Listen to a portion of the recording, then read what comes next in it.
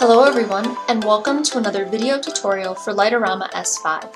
In today's video, we'll be talking about motion effect basics in the Light-O-Rama sequencer.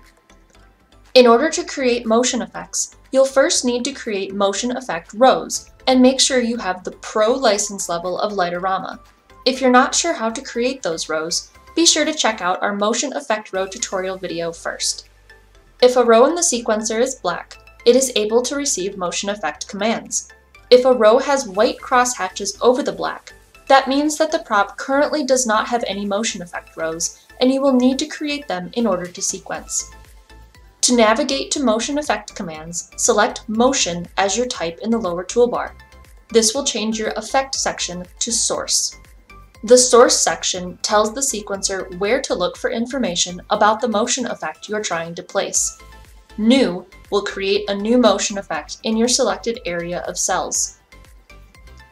Having playback selected while using the create action means that whatever effect is currently in the preview window will also be applied to the next selection of cells you highlight.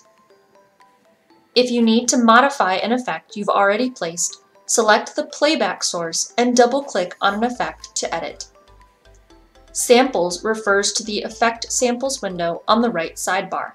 You can choose from built-in Light-O-Rama effects set to their default parameters, effects that have been previously used in the current sequence, or effects that you have saved as favorites. If the effect sample window is ever missing, go to Window and click View Effect Samples window.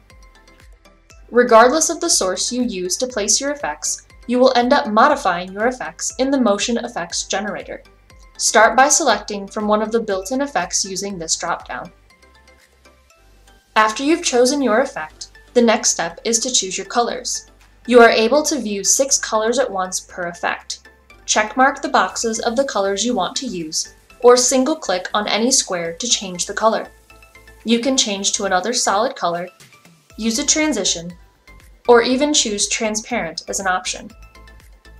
If you want to rearrange your color order, simply hold down your left mouse button and drag. If you'll frequently be using the same colors in multiple songs, you can manage your palette presets with this button. Every single effect has multiple parameters you can change to add creativity to your sequencing instead of just using the generic defaults. You can set the parameter to a specific value for the entire length of the effect, or you can have it move between values over the duration. By default, all parameters are locked into one specific value. If you click on the Lock dropdown for any effect, you'll see multiple options for how your effect can change over time. For example, we can set the bar width of this effect to 10 at the start and have it reach 50 by the end. You can click and drag the green and red sliders to adjust your start and end points. Use the center play button to see the applied change to your effect. If you decide you don't want the values to change over time, simply set the parameter back to the lock icon. If you want to reset every parameter you've changed in an effect back to the defaults, click this Reset button. To save an effect to your favorites, click on the Favorites folder and then click Save. You have the option to name your effect, then it will appear over in your Samples window on the right for use in future sequences. Once you're satisfied with your effect, click OK to apply it to the prop. And that's all for this tutorial. Don't forget to like and subscribe so that you never miss a notification about new videos.